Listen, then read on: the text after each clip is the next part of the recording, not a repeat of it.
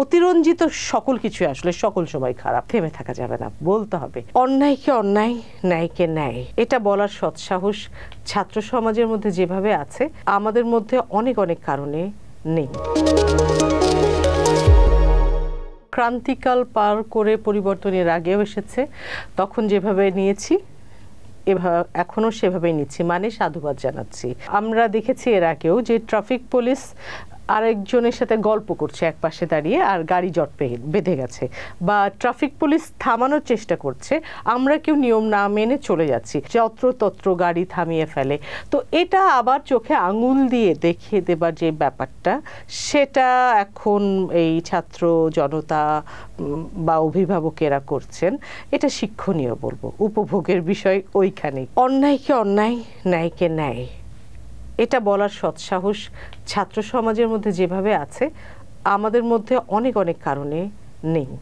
তো সেই লজ্জাটা পাই। ছাত্ররা তো একটা সময় পর্যন্ত থাকতে পারবে, কারণ তারপর তাদেরকে শিক্ষা প্রতিষ্ঠানে ফিরে যেতে হবে। এটা তো অস্বীকার করা যাবে না যে এত এত প্রাণ নিহত হলো। একদম শিশু থেকে শুরু করে বৃদ্ধ পর্যন্ত নিহত হলো। তো এটার জন্য কথা বলার কারণে যদি হুমকি আসে, আসতেই পারে। থেমে থাকা যাবে না। বলতে হবে, যা সত্য, যা দেখছি, যা জানছি, যা কানে শুনছি, সেটা বুঝে, বোধ করে কথা বলতে হবে। অতিরঞ্জিত সকল কিছু আসলে সকল সময় খারাপ। মানে আমি এখন কষ্ট পেলাম, সেই কষ্টটা যদি আমি এখন চিৎকার করে বলতে থাকি না, আরেকটু পরে শব্দ দূষণের মতো হয়ে যাবে মানুষের কাছে। মানুষ এটা পাত্তা দিবে না। তাই সব কিছু একদম সুসংগঠিতভাবে, সুন্দরভাবে এবং দৃঢ়তার সাথে বললে আমার বিশ্বাস যে কোনো ভয় লাগার কারণ নেই। আমাদের মৌলিক অধিকার যেগুলো আছে, খাদ্য, বস্ত্র, অন্ন, চিকিৎসা, এগুলো সবার আগে তো অবশ্যই প্রয়োজন।